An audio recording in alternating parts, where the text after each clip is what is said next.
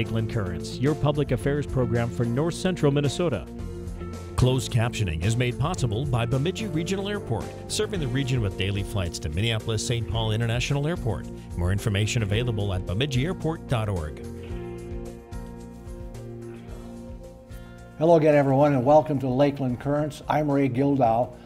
The program today is going to be about building community, and my guest is Mike Hajek, who has been uh, very, very influential and effective leader in this particular program that we're going to talk about today. And one of the things that we want to stress is that what Mike has done for the Staples community can be replicated in other communities. In fact, he's working with some other programs in some other bigger towns where they wanted to do something like this. So, Mike, welcome aboard. It's good to have you here. Well, thank you, Ray. Thanks for the opportunity to talk about something that we're really proud of. Yeah. So, tell me what a little bit about your background, Mike.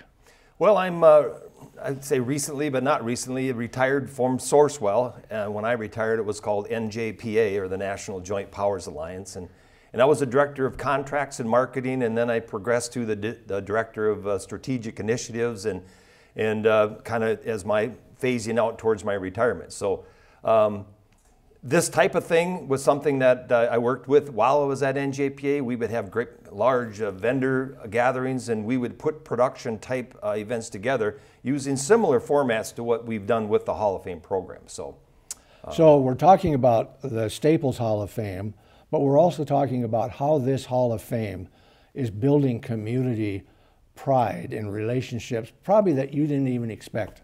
Is that fair to say? Well, you know, living in Staples and in the Staples Motley area, there's always been that um, when you have a, a, community that's that's trying to heal from consolidated uh, school districts, there's always uh, an element of healing that needs to take place between communities, and I always knew it was there, um, and I'm sure everyone uh, as well understood it was there.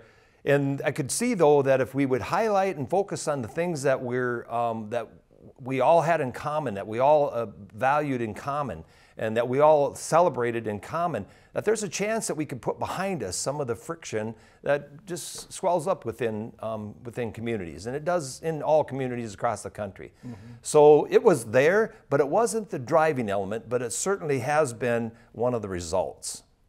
One of the things that uh, has impressed me about this program is how it's brought people back who have left the community or right. their families have left the community. And it's brought people back to share memories of really important parts of their lives that, that would never have happened otherwise. No. And you know, every, every school has their, their times of glory and those times when they celebrated together. And uh, those should never be forgotten. And uh, we have a tagline that we use at, at, within the Hall of Fame, and it's called that time fades everything except what you choose to value and recall. So when you think about that, time is our enemy. It fades our memories. And so this Hall of Fame program has a way of bringing those memories back and almost rekindling them and celebrating them again. And, and it's brought value to the community. And it's been an element, Ray, of, of building our community pride back. And not that it was ever really gone, but it kind of just starts to fade. And I think it's fair to say that many communities, large and small, don't have a program like this. It's kind of amazing when you think about it. Um, the ones that do, Brainerd does, and, and some of the other area ones do, and some of them are just um, are, are, not. They're they're they're just kind of a process. Uh, and and uh, by the way we do it at a, maybe at a higher level of a production, it really gets people behind it, and it get it draws attention and uh, other, other communities realize that it, it takes a lot of work to get something like this started. And it takes a level of uh, dedication and commitment, and you have to stick to it. It's not a program that you can start one year and then just not do it for a few years. Uh, once you start it, it has to keep, you have to keep going. And uh, it is kind of amazing the, the number of schools that don't. Even large schools mm-hmm. that uh, you would think would have a well established program don't.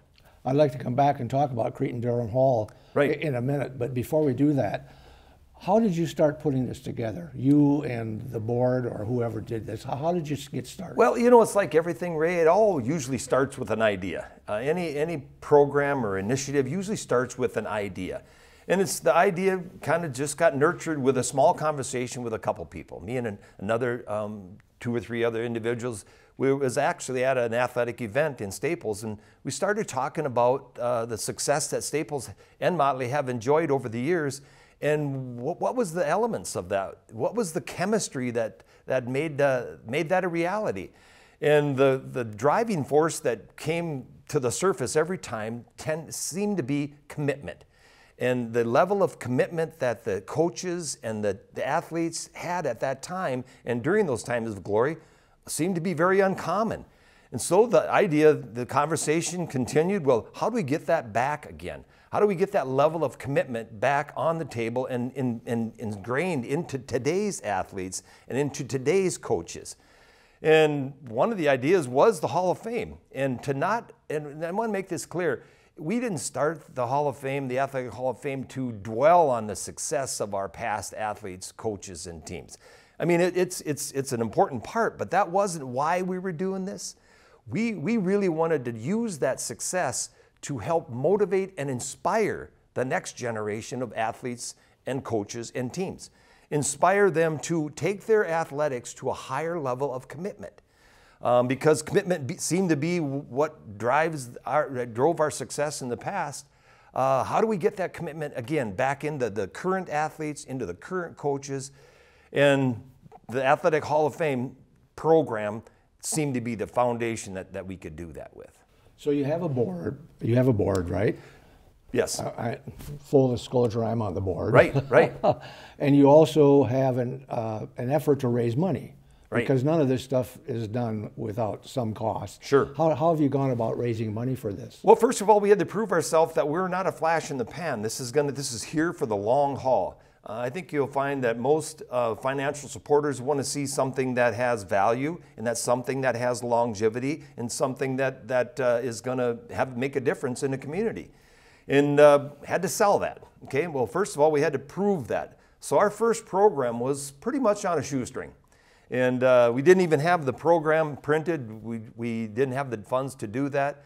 And so it, it started with just uh, uh, minimal funds to get started because we had to prove that this was something that was valuable to the community, to the school, uh, something that had value to the individuals that were going to be uh, inducted. And uh, through some just some uh, very dedicated supporters um, kept, you know, kind of gave us financial contributions throughout the community. We applied for a couple of grants through the foundation. The Initiative Foundation was awesome, and I could go through the list of supporters we have. But the, the key was we had to prove that this is something that, that's going to be here for, for more than just a, a short term. So there's a, a lot of debate going on in parts of the country today that athletics really shouldn't even be in the schools, that it should be more like a club yeah. uh, outside of the school district so the school district don't have to finance it, oh. the bus rides sure. and the coaches and all that.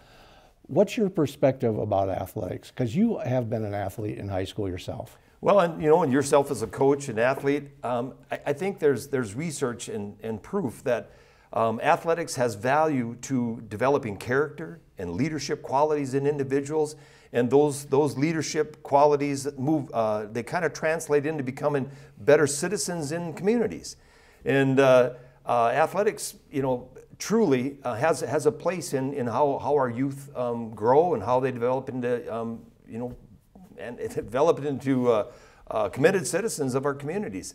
Uh, they make better students. I think that's, there's research on that. Uh, coaches make better teachers. I think there's research that, that proves that. And right now, the, the, the, the, whole climate with, uh, with athletes is kids aren't participating very much in, uh, in athletics. Uh, number one, you don't see the three sport athletes that we used to see. And kids, they get in a sport and then they tend to kind of fade away after a while. Uh, it's getting to be less and less common for a 30 year coach anymore. Everything's kind of just changed. And we think that the level of commitment if it gets reinstilled back into these coaches and athletes and into the teams um, through a level of commitment and dedication, that we can bring back some of those uh, qualities that we think are important in, in high school athletics. So, the very first event that you did, what, what, what was your approach? How did you do that? Well, you know, first of all, I mean, it's, I wanted it to make this program, I, it was very important that we made it something that the community was proud of. uh, so that they would go to it and say, I'm coming back. Um, if you can't get people to come back, you've lost them. And so it was very important that, that it, be uh, professionally done. And that's where I mirrored some of the things that I did before in my past that, that uh, brought some of those, those quality elements and the little things that made a big difference. And so, not to get into a lot of details, but we did the little things that made a big difference. We made the, the athletes and coaches um, feel proud of their past, and we made the, the, the, the, community residents proud of our, our legacy of athletics. Uh, we make it, we, we actually highlighted that so that people had it. When they left, there was a, feel, a, feel, a feeling of uh, community pride. And it, it started to make a difference. And we, there's a, a blended community we have now between Staples and Motley. And when we got together at the reception after the event, I noticed, and it was, it, could, it was clear that the guards had dropped, the, any friction that maybe had, had uh, um, existed in the past was fading.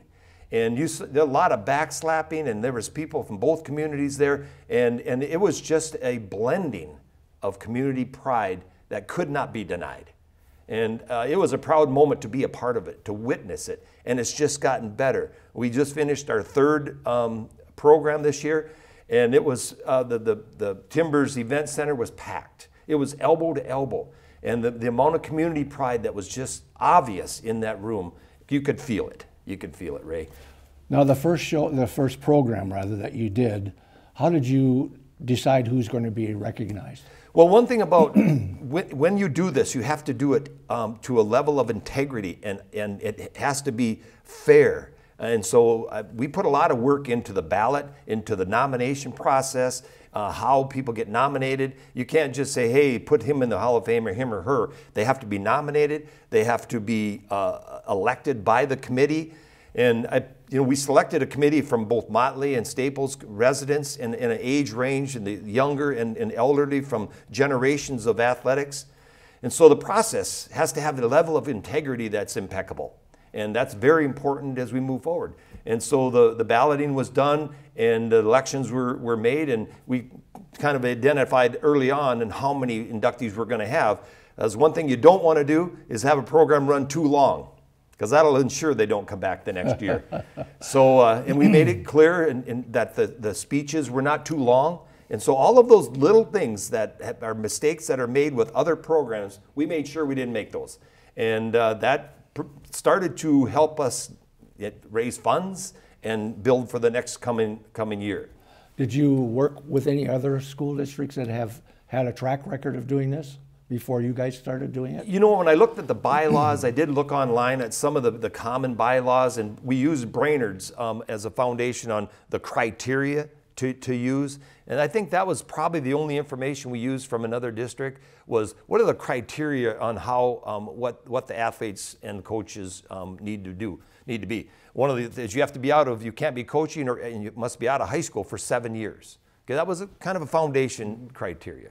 So, so um, traditionally, a Hall of Fame is an area. and a lot of small school districts don't have an area they can dedicate to this. So you found a different way of um, recognizing these folks without taking up a whole lot of physical space. To talk about that. Well, we uh, technology is, is amazing and it uh, continues to change. And one thing we found out real early, Ray, was uh, we, we want to award the, the, the uh, inductees a plaque. Okay, and so, and everybody, the, the plaque to hang on the wall, but we also had to put a plaque in the school somewhere so that when people come in, they would see who our inductees were. So our first year, we started and we put plaques on the wall. And I, th- I think we had uh, nine or 10 inductees. And, uh, and immediately I could see, we're going to run out of room. We're going to run out of room. This is not going to work. It's going to look cluttered. And so we uh, started talking to, to the industry on what's, what, what to do about that. And uh, many of the schools, not many of them, but it's, it's kind of the latest technology, is to use a digital media display. And it's a touch screen where it's a 65 inch touchscreen display that you walk up to it, you touch it, up comes the Hall of Fame. You can pick the inductee, and their entire career can be uh, played right before you. You can also click on that link from anywhere in the country or the world for that matter um, through the internet and access that um, those uh, inductees' athletic careers.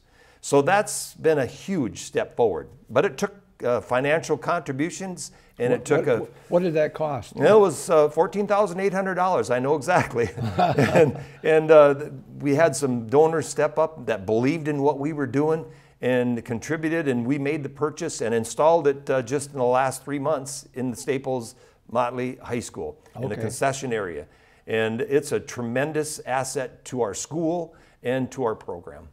Now, I know Cretin Derham Hall and, and maybe another two, school or two Blaine. found out about this. Tell tell us about what happened there. Well, we, uh, we presented it, our athletic director, Josh Lee, uh, presented our program at the, uh, uh, the Athletic Directors Conference last spring. And uh, there was several in the room that were very interested in what we were doing because, like I say, many of them don't have a program. Uh, they don't know really how to start or the finances it takes to do so. And so, as the you know, when he got done presenting it, I got calls back. Um, first one was from uh, Blaine, which is in Anoka Hennepin School District. a big school. district. Big, huge, and uh, um, wanted to know, you know, how they could participate with what we're doing. Cretin Derham Hall is only in their second year, uh, which is hard to believe, you know. that Private school. private school, but they have Joe Mauer, Matt Birks, and some they of have the some big, money. yeah. and so, but they still liked some of the things we were doing. And I remember, I recall telling the AD, I said, use what you want. Uh, we create this this program so that others maybe can take advantage of it too. And so uh, uh, Blaine is moving forward and going to use our program.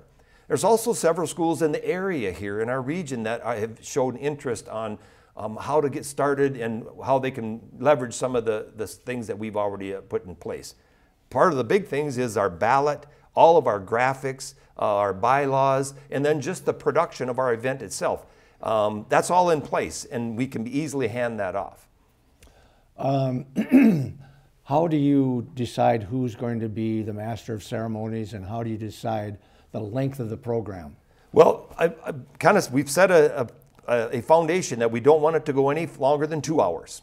Okay, and so we we time just about everybody's um, their their bios are timed, and we give them only so much time to talk about in uh, in their acceptance speeches, so that we don't over, uh, exceed our time limit. Because then we have a, a reception that takes place afterwards, and we, we don't want to take the, make the event too long that then it cuts into the reception. So it's I would say that it's all calculated down to the minute. And so uh, we have ways of uh, maybe And you have a little gal with a wet towel. she comes out with her referee's shirt on and she has a towel and she when they're exceeding their time limit she'll tap them out. And it, it's kind of humorous for the crowd the, the attendees to, to watch but it's effective.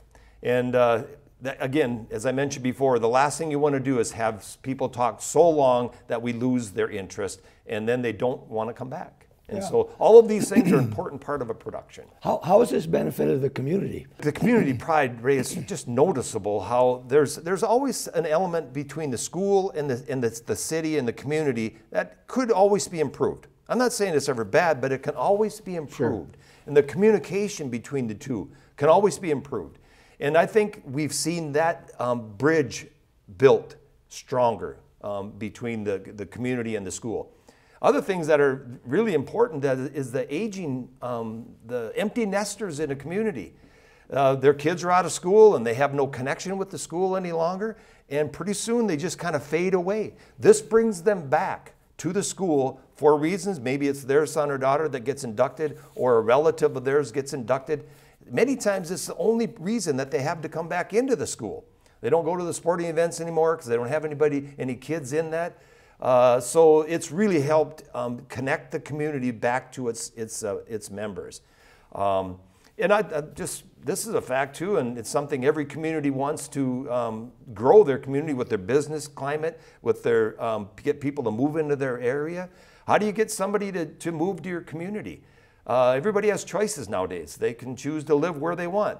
Well, people tend to like to, to move into communities that are successful, and athletics is one of the areas of success. Not that, and then the arts and academics and the theater and all the fine arts, those are all important elements of why somebody would want to send their children to our schools. So they build their businesses, they have a choice where they can do that. Uh, when you build community pride in a Hall of Fame program, uh, there's a reason why people might want to start a business here. So there's some there's some business development elements and growing a community with people moving to your, your community using uh, the reason or the references of a, a Hall of Fame program or an ath- a successful athletic program in general. This is done on a weekend, and usually it's almost a two-day event for someone who's coming from a distance to, to the event. So there's been a positive impact in the motels, the Oh, absolutely. There's been a positive impact on the restaurants. Um, I don't know how many people you had this year, but it was packed, standing room only.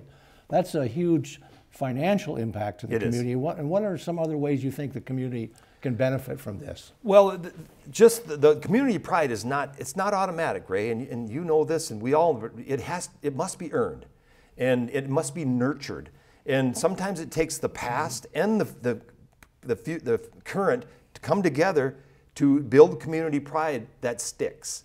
And uh, it, takes, it, it takes effort to do that. Um, we had people come from Texas and California and Florida, um, and, and they'll be at the next one. Um, and so some of them say, I'm, I'll never miss one of these. And so it gets people to reconnect with the community and uh, all based on some of the past success that they, that they lived through on their own uh, over the years. So there's a variety of, of uh, community benefits. Um, I think that one of the main ones that just it minimizes the, the friction that may be existing and it puts that all in the rear view mirror and people forget about any disagreements that they have between the school and the community. That's, I think that's huge. Um, and it makes people proud to live in our community. And uh, when kids get out of school, they have a choice. They can move away, but they can also stay here and raise their children here, start their businesses here, or commute to a job elsewhere and live in Staples and Motley areas. So those are, those are elements that I think uh, we're contributing to. Staples and Motley are both small communities, but there's an amazing amount of state championships that have come from these two communities. Could you just share a few of them? Well, Ray, that's a, that's a part of our story. And just over time, and just the, the way time fades everything, really no one ever took a, the, the initiative to count how many state championships Staples had. And through the 70s, 80s, 90s, and 2000s, uh, we had a tremendous level of state level success. So we took the initiative and started counting them. And uh, the initial number was 28 state championships, and then it actually grew to 30, and now we're at 31 team state championships. Also, at that time, it was 63 state champions, individual state champions. And just as impressive to me are the 59 runner up individuals and the 13 runner up state team championships. Uh, we Staples Motley is there's not even a school close to us in all of outstate Minnesota.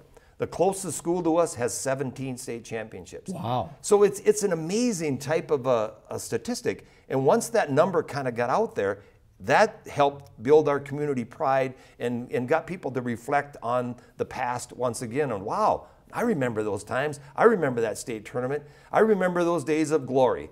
And so we built a sign, um, which another took another uh, financial commitment. As you come into Staples at the stoplights, uh, you'll see a sign there that says 31 state championships, and uh, um, and it's all built around Cardinal pride. And uh, I think the number right there is 65 individual state champions. An amazing legacy of athletic success. And you're talking about cross country runners, you're talking about wrestlers, you're Everything. talking about tennis players. Uh, yeah, that is an incredible number. It, and it's, I didn't realize that it was the most of school districts our size in the whole state. Outstate, it's, it's higher than any other school district. that's amazing. And uh, the other thing that's important, and people sometimes, well, what about academics? What about um, the fine arts? The program that we develop, Ray, can easily be handed off to the fine arts, uh, easily handed off to the future farmers, the FFA program. Uh, some of the, the success that we've, Staples Motley has had in that area has also been amazing. So um, it's not our area. We're not going to do a program and include all those that, that somebody else has to pick that up, but we'll give them the program so that they can uh, so that they can easily put a program together to recognize and honor uh, those those individuals that help drive that. So, what's your website? How do people find out more information about this? Well, we have a web page, and uh, Facebook's been really effective for uh, us communicating um, all of our, our, programs. And uh, I, I, don't have the, the web page link right on here. Um, maybe it can be brought up on the screen. Or our web page will have our nomination form, and it has some of our, our directories are all on there. Um, the link to our digital media display is on there available. And uh, we're, we're doing our best to try to get the word out. And uh, we're not shy about being willing to share it with other communities. And we hope schools contact us and find out. You have the event in the fall.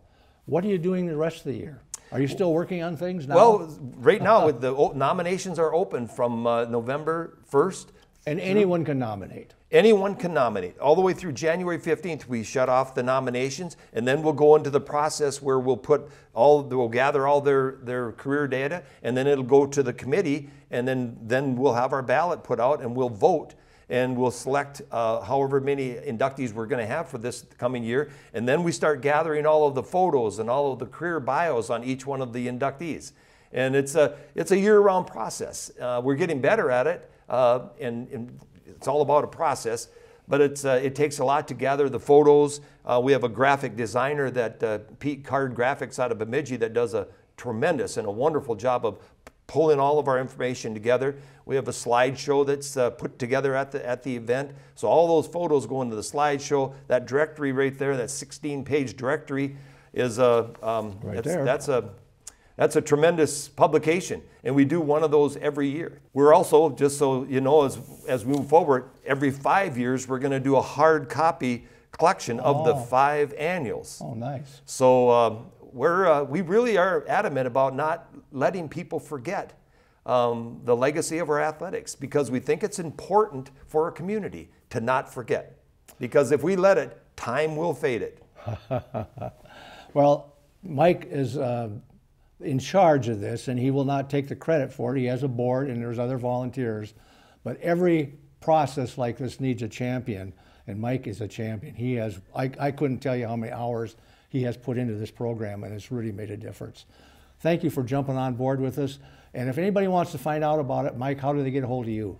Well, uh, we'll maybe put the information up there, but they can text me or uh, um, con- contact me through email, and uh, I can get them the nomination forms. Or if another school is interested, we have a flyer that we call our shared content. We can send them to help them get started uh, with their own program within their own school and community. Perfect. Thank you. You've been watching Lakeland Currents. I'm Ray Gildow. So long until next time.